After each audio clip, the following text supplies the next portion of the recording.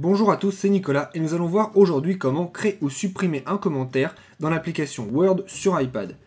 Alors pour cela, il faut déjà sélectionner l'endroit où vous avez envie d'insérer votre commentaire. Donc par exemple, nous on va choisir le troisième mot de notre document. Puis on va aller dans l'onglet Révision. Et là, tout à gauche, vous avez une petite icône plutôt jaune avec une croix verte pour plus.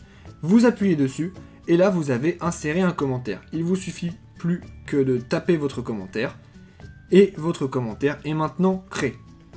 Si vous avez envie de supprimer ce commentaire, eh bien vous le sélectionnez tout simplement en tapant dessus à nouveau juste ici.